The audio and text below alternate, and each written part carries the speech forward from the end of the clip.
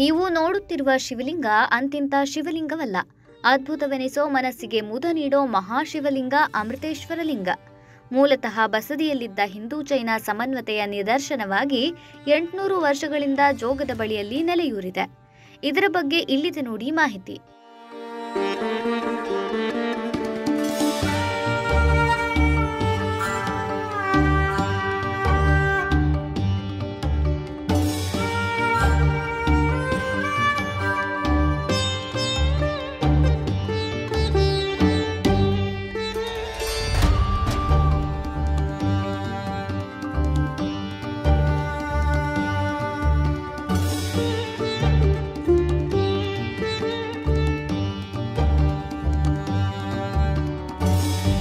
ಕ್ರಿಸ್ತ ಶಕ ಹದಿಮೂರನೇ ಶತಮಾನ, ಸಾವಿರದ ಒಂಬೈನೂರ ಮೂವತ್ತರಲ್ಲಿ ಅಂದರೆ ವಿಜಯನಗರ ಸಾಮ್ರಾಜ್ಯಕ್ಕೂ ಹಿಂದೆ ಸಾಳ್ವ ವಂಶದ ರಾಜನಾದ ಹೊನ್ನ ನರೇಂದ್ರ ಆಳುತ್ತಿದ್ದ ಕಾಲ.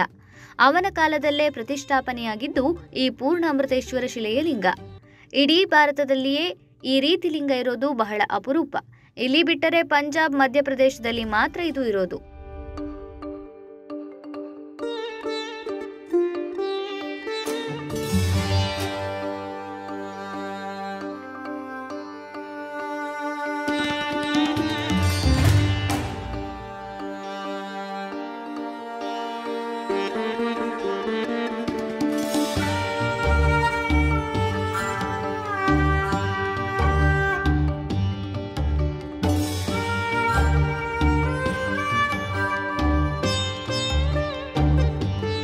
ಕರ್ನಾಟಕದಲ್ಲೂ ಎಲ್ಲೂ ಕಾಣಸಿಗದ ಏಕೈಕ ಅಮೃತಶಿಲೆಯ ಈ ಲಿಂಗ ಇದು ಹದಿಮೂರನೇ ಶತಮಾನದಲ್ಲಿಯೇ ಅಸ್ತಿತ್ವದಲ್ಲಿತ್ತು.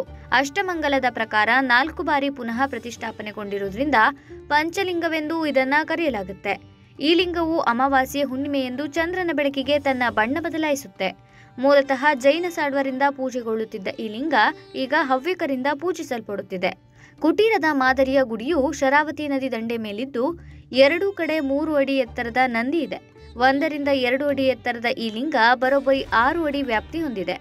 ಲಿಂಗ ಅಮೃತಶಿಲೆ ಪಾಣಿಪೀಠ ಸಹಜ ಕಲ್ಲಿಂದ ಆಗಿದೆ. ಮೊದಲು ಅನಂತನಾಥ ತೀರ್ಥಂಕರದ ಬಸದಿಯ ಪ್ರಾಂಗಣದಲ್ಲಿ ಈ ಲಿಂಗವು ಪೂಜಿಸಲ್ಪಡುತ್ತಿತ್ತೆಂಬ ಐತಿಹ್ಯವಿದೆ. ಶಿವಮೊಗ್ಗದ ಸಾಗರದ ಗುಂಡಿಬೈಲು ಪ್ರದೇಶದಲ್ಲಿರುವ ಈ ಲಿಂಗದ ದರ್ಶನ ಯಾವಾಗ ಬೇಕಾದರೂ ಪಡೆಯಬಹುದು.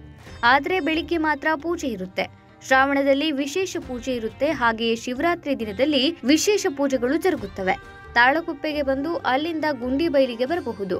ಶ್ರೀ ಕ್ಷೇತ್ರ ವಡಂಬೈಲಿನಿಂದ ಎರಡು ಪಾಯಿಂಟ್ ಐದು ಕಿಲೋಮೀಟರ್ ದೂರದಲ್ಲಿಯೇ ಈ ದೇವಸ್ಥಾನವಿದೆ. ನೀವು ಅಮೃತೇಶ್ವರನ ದರ್ಶನ ಪಡೆಯಬಹುದು.